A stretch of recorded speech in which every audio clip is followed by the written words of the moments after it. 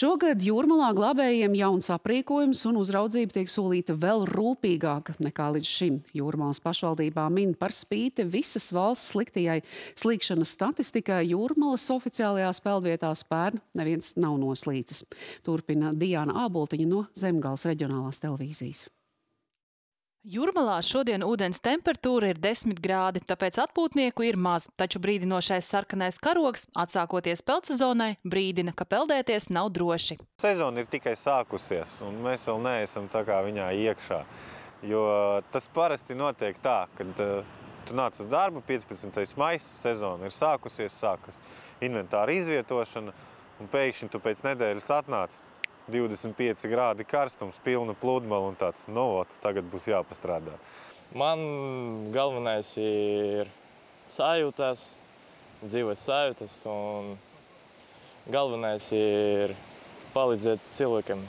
Jūrmals glābšanas stacijās Buldros, Majoros un Kauguros izvietoti trīs jauni kontrola posteņi. Katrā atradīsies divi cilvēki. Ir arī izvietoti novērošanas krēsli, kur patstāvīgi būs viens glābējs, nodrošinot klātbūtnes efektu. Un šādi disciplinējot atpūtniekus. Šobrīd jau savākta 15 glābēju komanda.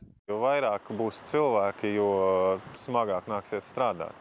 Un tomēr to cilvēku resursu mums cik ir, tik ir, bet nu, centīsimies mūsu latiņu ne, nelikt zemāk, kā bija pagājušajā gadā. Glābēji atgādina par drošību uz ūdens, neskriet strauji pārkarsušam ūdenī, neiet peldēties alkohola reibumā, vēlams košs pamanāms peld apģērbs, kā arī strikti aicina vērīgi pieskatīt bērnus. Mēģina ieskaidrot vecākiem, ka glābējs nav aukla.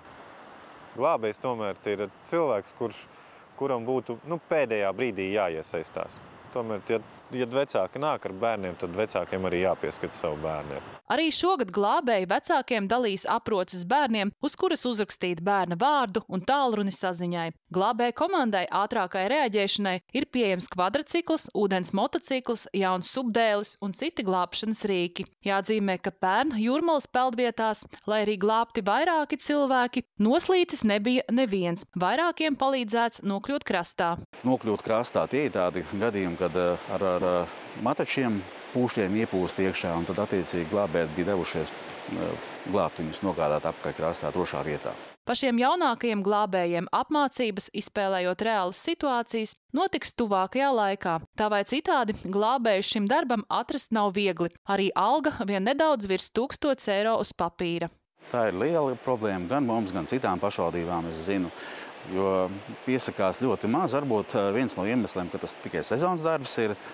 Varbūt tās ir kādi vēl citi iemesli, kāpēc tie glābējs grūti ir atrast, bet šobrīd mēs esam tā nokomplektējuši, lai, teiksim, trim glābšanas stacijām pietiktu šie darbinieki. Tie glābēji, kuri sev pierādīs vislabāk, saņems uzaicinājumu pievienoties arī darbam inspektoru komandai jau pēc sezonas beigām. Diana Boltiņa, Igors Paļežājevs, Zemgals reģionālā televīzija.